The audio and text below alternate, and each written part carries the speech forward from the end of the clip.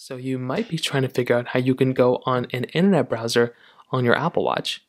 Now, there are some like ways of going about an internet browser via your, you know, App Store if you want to download an internet browser app, but there's a built-in one too, which is actually pretty decent.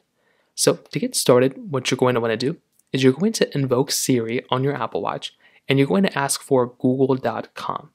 So this is what it looks like. Hold the side button to basically, you know, get into Google, get into Siri, google.com.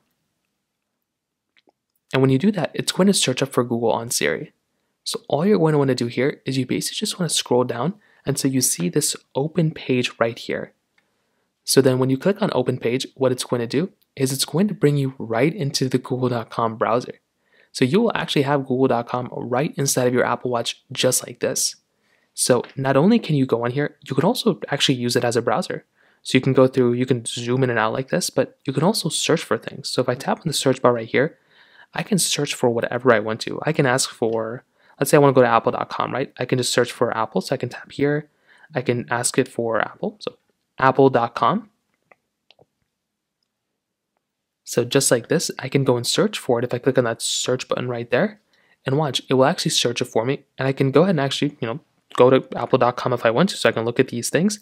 I can then go into apple.com, which is right there.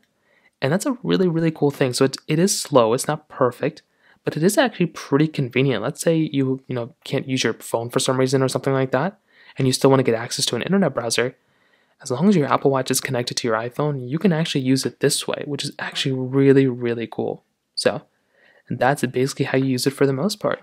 If you have any other thoughts or questions, please let me know in the comment section below. Hit the like button, that would mean so much, but definitely hit that subscribe button. More importantly than everything else, I love every single one of you guys. Hopefully I'll catch you guys in the next video. Peace out.